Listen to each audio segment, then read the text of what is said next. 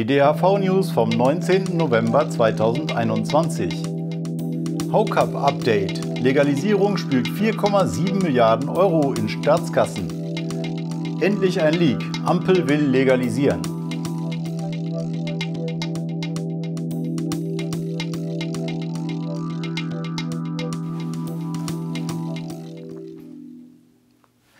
Herzlich willkommen bei den DHV News und vielen Dank für 200.000 Abos auf diesem Kanal. Super Sache. Wahrscheinlich haben wir schon bald 205. Wir sind an den 200 auf jeden Fall schon vorbei gejettet. Und ein kleiner Hinweis noch in Sachen YouTube. Es gibt schon wieder ein ausgiebiges Labervideo mit mir, diesmal im Sender von Freiheitsliebe TV.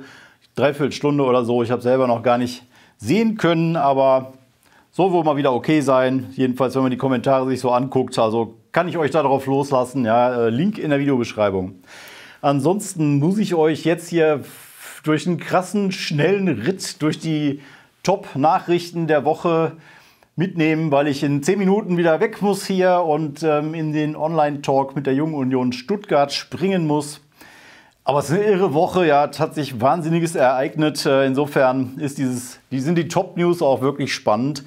Einerseits fangen wir damit an, Haucup-Studie. Da gab es ja am Dienstag unsere Pressekonferenz mit dem Update der Studie. Die Ergebnisse davon habe ich selber erst äh, ganz kurz vor der Pressekonferenz gesehen und äh, mich gefreut. Kurz zum Hintergrund. Wir hatten ja 2018 mit euren Spenden äh, vom, von der Weihnachtsspendensaison davor die Studie finanziert von Ökonomieprofessor Justus Haukapp. Was kostet die Cannabis-Prohibition oder umgekehrt dann auch, was bringt denn die Legalisierung von Cannabis für die Staatskassen durch Steuern, die reinkommen und durch Repressionskosten, die man einsparen kann? Und er hat jetzt dieses Update gemacht, von sich aus auf eigene Rechnung, nicht auf unseren Auftrag und Bezahlung, aber eben Update unserer DHV-Studie. Weil es neue Erkenntnisse gibt. Es gibt neue Schätzungen, wie viel verbraucht wird in Deutschland. Die Zahl der Konsumenten ist etwas gestiegen.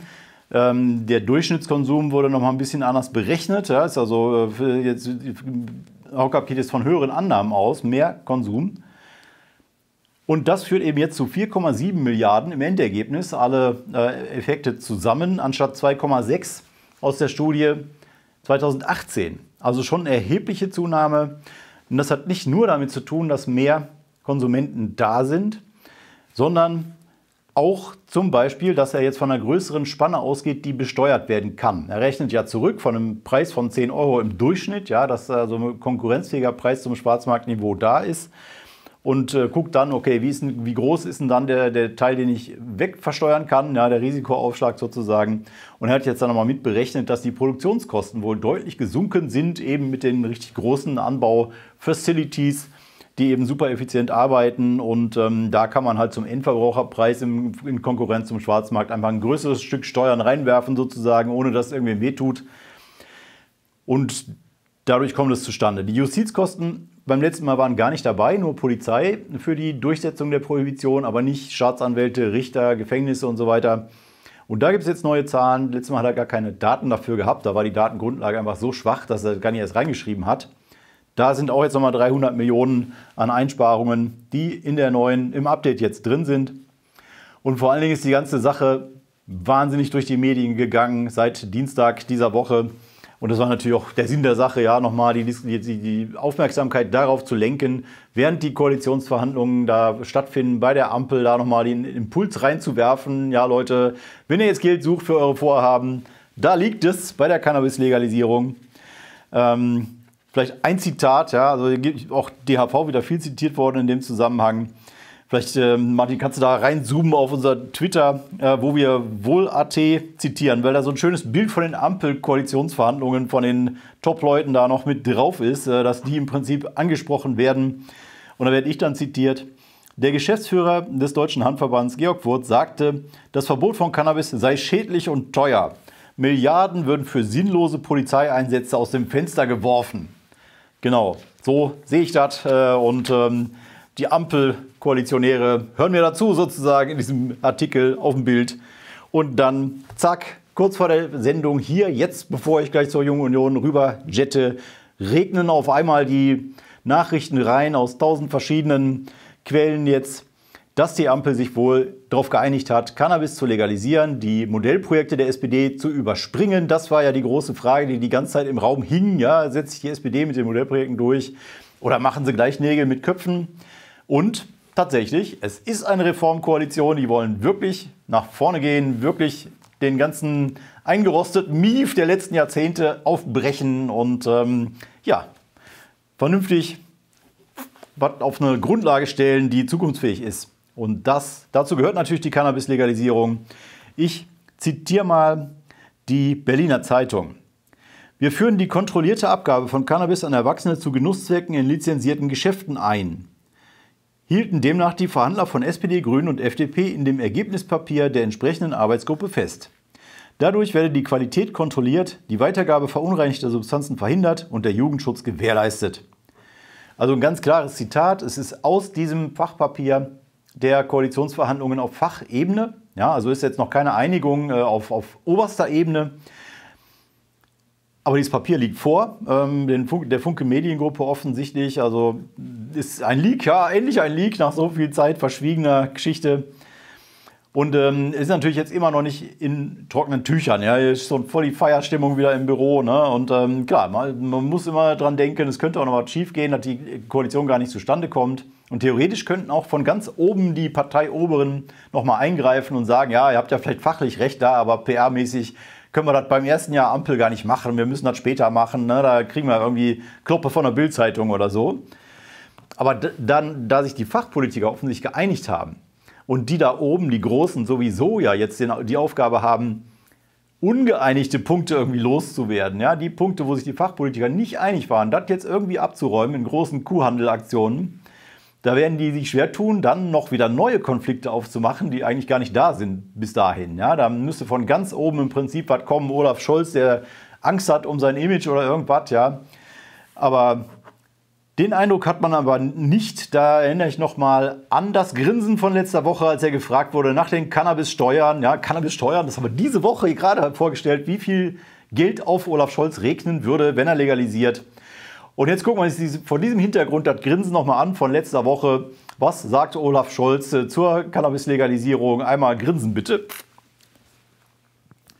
Also das sieht für mich nicht so aus wie jemand, ein zukünftiger Kanzler, der unbedingt noch die Cannabis-Legalisierung aufhalten will, weil er Angst hat davor.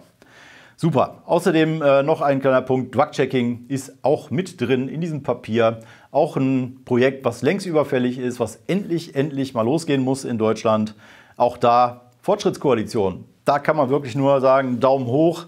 Das sollen sie mal durchziehen. Wenn sie das hinkriegen, endgültig im Koalitionsvertrag drinstehen haben, dann kriegen sie zehn Bienchen vom Handverband. Garantiert. Zum Schluss noch ganz kurz äh, eine Nachricht, die ich mir nicht verkneifen kann. 100.000 Drogentote in den USA innerhalb eines Jahres in zwölf Monaten gerechnet.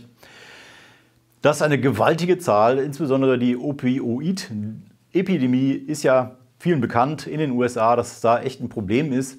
Ähm, weil eben da viele, viele Jahre lang viel zu offen mit Schmerzmedikamenten auf Opiatbasis umgegangen worden ist. Das ist wie Smarties verschrieben worden da, der Problembewusstsein überhaupt nicht da. Da wurden zigtausende, zehntausende, hunderttausende von Leuten irgendwie auf Schmerzmittel abhängig gemacht, ja, und die dann nach Absätzen irgendwie nach Heroin greifen und ähm, Fentanyl, ja, ist das größte Problem letztendlich. Dadurch sterben die meisten Leute. Teilweise, weil sie halt bewusst konsumieren, teilweise, weil das Heroin damit irgendwie versetzt wird. Ähm, Riesensauerei, 100.000 Tote, gewaltige Zahl. In Deutschland haben wir 1500 Tote an illegalen Drogentoten, ja, nach Konsum illegaler Drogen. 1500 im Vergleich zu 100.000. Ja, die, die haben ein paar mehr Einwohner, aber trotzdem gewaltiger Unterschied. Und damit jetzt nicht der, die Idee aufkommt, das liegt daran, dass die USA bei Legalisierung von Cannabis vorangehen ja, und dass deswegen jetzt die Toten da auf einmal da sind. Das genau das Gegenteil ist der Fall. In den Staaten, wo ein Zugang zu legalem Marihuana da ist, sinkt der Opiatkonsum. Auch in der Schmerztherapie übrigens, da wo Cannabis als Medizin vorhanden ist, äh, möglich ist, da wird weniger Opiate verschrieben, konsumiert und so weiter. Insofern, wie ich auch immer wieder höre hier von Zuschauern, die sagen, wenn es um Thema Cannabis ist keine Einstiegsdroge geht, ja, dann sagen die sogar immer mal wieder in den Kommentaren, Cannabis ist eine Ausstiegsdroge. Ich habe es geschafft, mit Cannabis von Heroin runterzukommen. Und so ist es im Grunde in den USA auch. Auf jeden Fall ist Cannabis kein treibender Faktor bei dieser Epidemie der Drogentoten, sondern letztendlich die US-Pharmaindustrie dürfte der größte Faktor gewesen sein, der die Amerikaner dahin gebracht hat. Und damit bin ich bei den Oldenburg-Terminen. Es geht los am 20. November. Da ist das Herbstfest der DAV-Ortsgruppe Oldenburg. Dann kommt äh, in Freilassing der Treffpunkt zur gemeinsamen Anreise zur Kultivar in Wien der Ortsgruppe Chiemgau. Dann ein Orga-Treffen der DAV-Ortsgruppe Oldenburg am Sonntag, den 21. November. Koblenz, auch 21. Sonntag, Online-Treffen. Apropos Online, ich nehme an, dass ich bald wieder nur noch Online-Termine hier erzähle, weil wieder Corona irgendwie durch die Decke geht. Wir sind jetzt auch überwiegend wieder im Homeoffice beim Handverband. Derselbe Scheiß wie letztes Jahr. Lasst euch impfen, sonst werden wir das nie los. Heidelberg, Sonntag, 21. November, Ortsgruppe Rhein-Neckar. Dann in Hamburg trifft sich die Gruppe Dienstag, 23. November. Ein Online-Themenabend gibt es nicht von einer DHV-Ortsgruppe, sondern von einer Cannabis-Medizin-Gruppe in Bozen. Es gibt äh, Simultanübersetzung Deutsch-Italienisch. Ähm, Themenabend Cannabis in der Asthmatherapie, Dienstag, 23. November, 19 Uhr. Dann nochmal Rhein-Neckar Online-Treffen, diesmal der DHV-Ortsgruppe, auch Dienstag, 23. November. Dann äh, Oldenburg Live-Treffen der DHV-Ortsgruppe, Freitag, 26. November. Und zum Schluss Infostand 27. November der DRV-Ortsgruppe in Oldenburg. Das war's für heute. Ich muss jetzt rüber. Ich wünsche euch noch einen schönen Tag, einen grusamen Abend und mir wünsche ich, dass ihr dieses Video liked, die Glocke aktiviert, nachdem ihr abonniert habt, diesen Kanal hier. Einen schönen Tag und einen grusamen Abend wünsche ich.